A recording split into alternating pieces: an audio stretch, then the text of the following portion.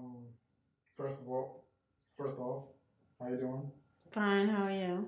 I'm okay. Um, introduce yourself and what uh are you taking up? My name is Felicia Sears. I'm taking up travel, tourism, and hospitality management. Okay. Um, have a few questions for you. Um, what made you decide to pursue this career choice? I wanted to pursue this career choice because I wanted to go into a different aspect. I wanted to go into a different direction because everybody's doing nursing and business, and I wanted to go into the travel industry. Okay. Uh, you're a leader, not a follower. I like that. Um, okay. Second question. What is your studies comprised of?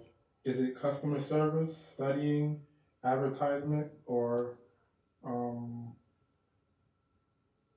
or is it uh, general management? It comprised of general management, sales, and customer service, and that's about it. Okay. Um,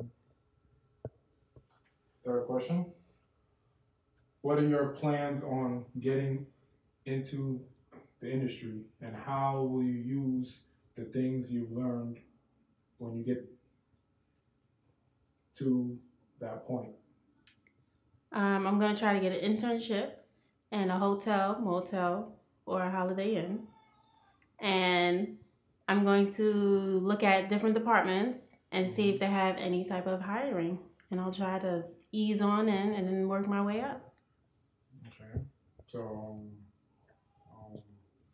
you know, we're working at the, the Hilton. All right, let's see at the Hilton. I hope so. okay, okay. Thank you. Thank you.